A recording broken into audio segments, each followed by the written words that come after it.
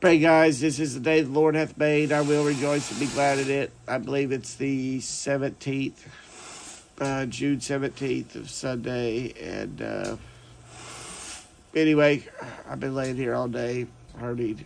And I thank the Lord for the preacher that filled in for me this morning. He did a great job preaching on running the race. If you didn't watch that, go listen to it on Facebook. You know, bless your soul anyway, I am not going to come on tonight, and I may not be back on till after my kidney stone surgery. I don't know. We'll see. To play ear by ear. I guess day by day would be the day word for it. But guys, tell somebody about Jesus. We don't have much time left.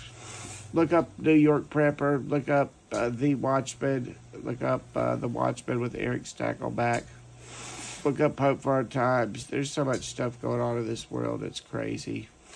Lord wants everybody to know there's not much much time left. I got to take a break for a little bit and, and, and get my body healed up. My full intention is to be back on as quickly as I can. And I might come in on short, shorter lives uh, here the next few days.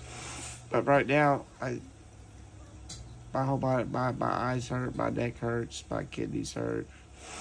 Anyway, thank you for your prayers. Um, God bless you. Much love.